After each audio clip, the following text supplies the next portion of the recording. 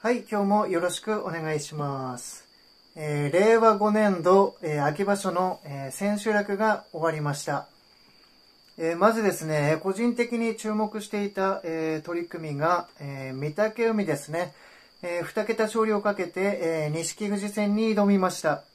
えー新大関のね、場所以来の、新大関の場所以来の二桁を、えーかけた相撲だったんですけれども、えー錦富士がね、回しを取って、えー一気に寄っていきました。錦富士はね、5勝10敗、えー御嶽海はね、9勝6敗となりました。えーそしてね、もう一番、えー注目していたのが、えー緑富士ですね。こちらも2桁勝利をかけて、えー今日、青山戦に挑みました。えー緑富士がね、今場所6回目の肩透かしで勝ちました。えー舞の海さんもね、言っていたんですけれども、えーまあ、技能賞をね、上げてほしかったなという感じですね。えー緑富士は10勝5敗で秋場所を終えましたと。えーそして、えー今日大注目の一番ですね。熱海富士対朝乃山戦。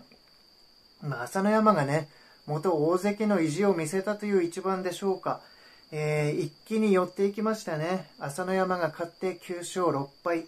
えー熱海富士はね、11勝4敗で、えーこの結果ですね、優勝は11勝4敗の、えー決定戦ということになりました。えーそしてですね、これより三役ですね。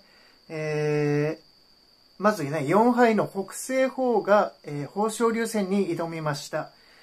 えー今日はね、豊昇龍強かったですね。えー千秋楽に、えー豊昇龍は勝って勝ち越しを、えー決めました。えー北西方はね、10勝5敗で秋場所を終えました。えーそしてね、大栄翔。今日はね、貴景勝とね、4敗同士の戦いですね。勝った方がね、えー決定戦に進むという形ですね。えー対戦成績がね、貴景勝の17勝5敗なんですね。え貴景勝が結構圧倒しているんですね。えー今日はね、立ち合いから、え何度もね、え頭で当たって、え貴景勝がね、え最後はね、送り出すという形ですね。送り、送り出し。はい。え貴景勝が決定戦に進むということになりました。大栄翔は10勝5敗となりましたね。はい。そして、結びの一番。えー霧島対、えー高安。高安も4敗なので、えー勝てばね、決定戦だったんですけれども、えー今場所もね、優勝には手が届きませんでした。